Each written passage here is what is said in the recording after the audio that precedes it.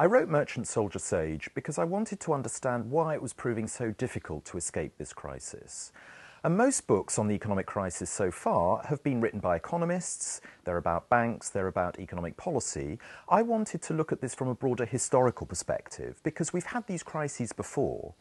And history can give us some guides as to how to escape from them and what's likely to happen from now on.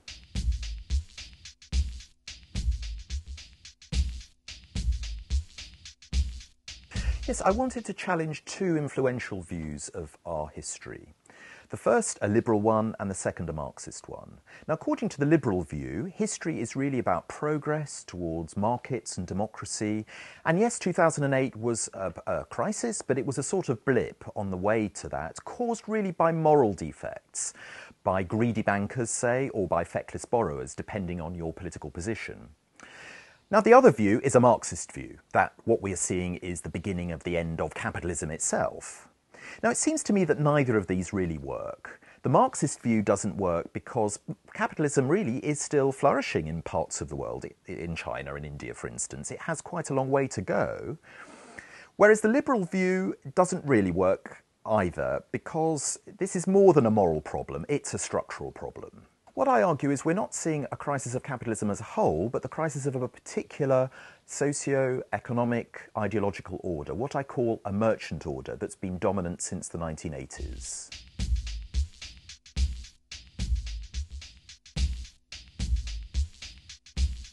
Merchants or traders are a social group, or a caste as I call them, who've existed throughout history. They emphasize flexibility, seeking the highest profit wherever they can find it, innovation, and networking.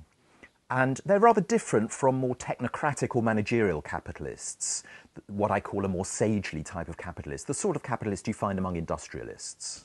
Merchants haven't always been so dominant. As I show in my history, which is really a history of the ancient, medieval, and modern periods, other castes have often been more powerful, have generally been more powerful, like soldier aristocrats in the medieval period, technocrat sages, and workers to some extent in the post war period.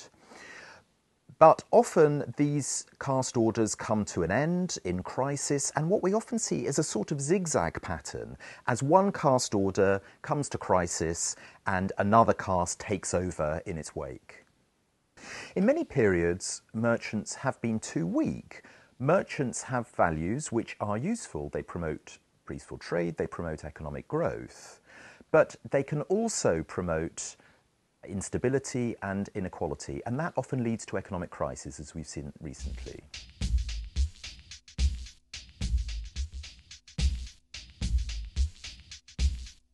Well, this happened last in the 1920s when the United States backed a new market-friendly international world order they promoted international banks, freeing up trade, rolling back the state. Very similar, really, to the 1990s and 2000s. And the result was really rather similar to 2008. 1929 saw the Wall Street crash and a very long depression after that. So, in, in many ways, we've been here before. Merchants have been dominant really for three big reasons. The first is that merchant dominated institutions like the international banks have had a lot of power in the global economy. States have given up power to banks. Secondly, many of us have had to internalise merchant values. More and more of us, even in the public sector, work in market-friendly institutions. We've, we, we have market culture everywhere, and so we've had to uh, absorb those values.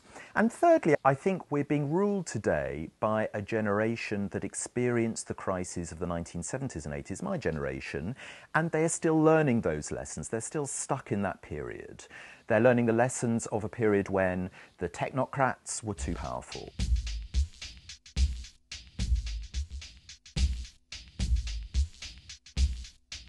Well, the experience of the 1930s isn't very encouraging. After 1929, it took about 15 years for a new stable caste order, the post-war order, to be created. And in the meantime, politics became extremely polarised between left and right, particularly over the issue that concerns us today who should pay back the debt? And that politics then led to the return of the warrior, if you like, a militarised politics on both left and right. Of course, in Germany, that really helped the militarised right, Hitler. And it took the deaths of some 60 million in a world war and the rise of a new generation that had learnt the lessons of the 1930s before a new stable caste order emerged.